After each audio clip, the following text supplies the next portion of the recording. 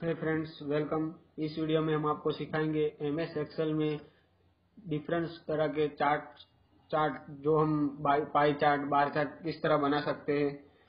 ये M S office computer course का हमारा और एक वीडियो है, जिससे आप यूट्यूब पर घर बैठे एम एस कंप्यूटर कोर्स सीख पाएँगे, जिसमें triple C triple C plus आप घर बैठे ही सीख पाएँगे। हमारे पहले वाले वीडियो आप हमारे चैनल के playlist M S office course में आप देख पाएँगे। तो चलिए आते सीधे पॉइंट पे और शुरू करते हैं वीडियो ये वीडियो आप देख रहे हैं easy life for all YouTube channel पर। अगर आपको वीडियो अच्छा लगे लाइक करें शेयर करें और हमारे चैनल को सब्सक्राइब करना ना भूले। ऐसे ही वीडियो हम और आपको सुझाव हो तो कमेंट में ज़रूर करें। ऐसे वीडियो हम आपके लिए लाते रहेंगे। तो चलिए शुरू करते हैं वीडियो आते सीधे पॉइंट पे। यहाँ आप देख सकते हैं मैंने एक स्टूडेंट मार्कशीट की तरह बनाया हुआ है। अगर आपके पास ऐसा डेटा है तो आप इसका कौन सा चार्ट बनाए, कौन सा चार्ट सुटेबल रहेगा आपके लिए। तो यहाँ आप देख सकते हैं, ये मार्कशीट है।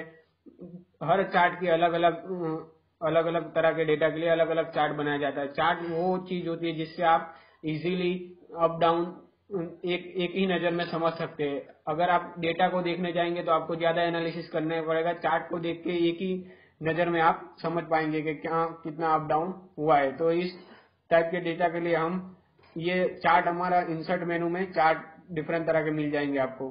तो इसके लिए इंसर्ट मेनू का प्रयोग किया जाएगा।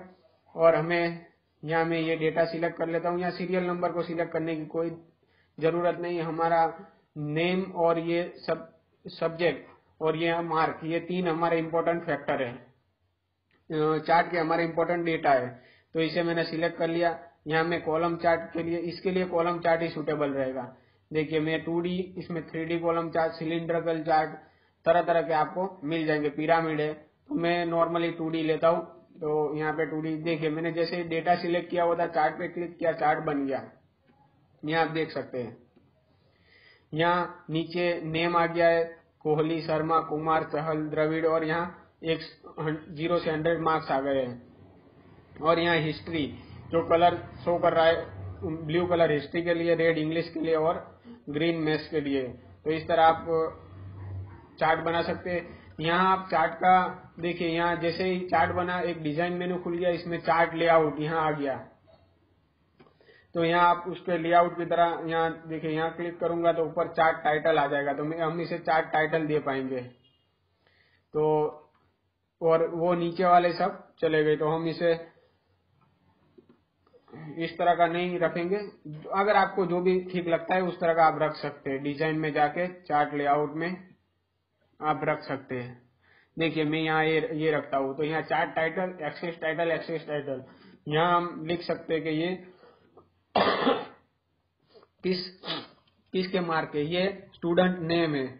तो यहाँ स्टूडेंट नेम यहाँ हम लिख सकते हैं, जिससे हमको आसानी से पता लग चले कि ये कौन सी डिटेल है। ये थोड़ा चार्ट हमारा अलग तरह का हो गया है। हम ये ले लेते हैं। देखिए, यहाँ आपको थोड़ी और ज़्यादा डिटेल लाइन के साथ मिलेगी किसके कितने मार्क है। यहाँ हम एरो ले जाएँगे तो तो भी आपको पता चल जाएगा कि ये किस स्टूडेंट के मैथ्स में कोहली के 76 मार्क है। तो इस तरह आपको पता चल जाएगा। यहाँ आप चार्ट टाइटल भी दे सकते हैं। यहाँ मैंने स्टूडेंट नेम लिखा। इस तरह आप ये चार्ट टाइटल भी दे सकते हैं। हम अगला चार्ट यहाँ लेआउट में आप, यहाँ चार्ट टाइटल है, यहाँ एक्सिस है, इस तरह ये सब फ़ंक्शन भी आप यूज़ कर पाएँगे। और यहाँ फॉर्मेट में भी आप, उसके कलर है हाइट है, वो सब चेंज कर पाएँगे। तो इस प्रकार के डेटा के लिए आपको ये बार चार्ट अच्छा रहेगा। तो कॉलम चार्ट ठीक है? और यहाँ लाइन चार्ट है पाई चार्ट बार चार्ट जो कॉलम की तरह है, लेकिन हॉरिजॉन्टली है तो हम दूसरे टाइप के देखा अभी आपने देखा चुना हुआ जिसमें बीजेपी को 99 कांग्रेस को 77 गुजरात में जो चुना हुआ, उसकी बात कर रहे हैं। और अदर्स को सिक्स सीटें मिली। अगर इस टाइप का डेटा है तो आपने न्यूज़पेपर में देखा होगा।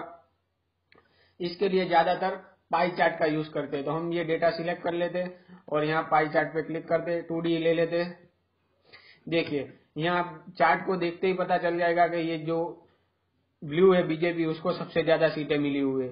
अगर डेटा में ये ज़्यादा न्यूमेरिकल डेटा हुआ तो आपको, अंक का डेटा हुआ तो आपको सोचना पड़ेगा, लेकिन चार्ट देखने से आपको इजीली पता चल जाएगा। अदर को सिर्फ़ छह सीटें है, उसका कलर ग्रीन है, यहाँ रेड में 42 परसेंट है। यहाँ आप देखिए, ये लेआउट में इसे क्लिक करेंगे तो ये परसेंटेज के हिसाब से बताएगा। तो अगर आपके पास इस तरह का डेटा है तो आप पाई चार्ट भी यूज़ कर सकते हैं। आपके जो स्टूडेंट है या जो कोई प्रोजेक्ट बना रहे या कोई अपने बिज़नेस के लिए भी डिफरेंट तरह के डेटा के लिए कौन सा चार्ट सुटेबल रहेगा जो इससे आप समझ पाएँगे। और एक आपको लाइन चार्ट के बारे में बता देते लाइन चार्ट किस तरह आप ले सकते हैं। तो यहाँ देखिए डेटा मंथ है जनवरी फरवरी मार्च अप्रैल और उसका सेल है कि पाँच हज़ार रुपीज़ का सेल हुआ, सात हज़ार, बीस हज़ार का हुआ। तो इसके लिए हम कौन सा तो इसे मैंने सिलेक्ट किया हुआ है और ये लाइन चार्ट मैंने लिया है। यहाँ से आप देख सकते हैं लाइन चार्ट में डिफरेंट डिफरेंट ऑप्शन है। तो इसके लिए लाइन चार्ट सुटेबल रहेगा। तो मैंने ये लाइन चार्ट लिया हुआ है। तो देखिए यहाँ ये सेल बता रहा है और ये रुपीस में बता रहा है। तो यहाँ हम एक्सिस टाइटल भी ले सकते लेआउट में जा, चले जाएँगे। टाइटल एक्सिस में हॉरिजॉन्टल में टाइटल बिलो एक्सिस यहाँ हॉरिजॉन्टल में देखिए यहाँ हम टाइटल ले सकते हैं। तो मैं यहाँ मंथ लिख दूँगा जिससे आपको आइडिया लगता है कि ये मंथ है। और यहाँ में टाइटल एक्सिस में वर्टिकल यानी वाई एक्सिस पे। इसमें भी तीन प्रकार के आप ले सकते हैं ओरिजेंटल टाइटल वर्टिकल टाइटल और रोटेटेड टाइटल तो हम ये वर्टिकल टाइटल लेते, देखिए यहाँ आप लिख पाएँगे। इसे हम एक्सिस को मिटा देते हैं। तो आप देख सकते हैं, मैंने इसे मिटा दिया, यहाँ सेल इन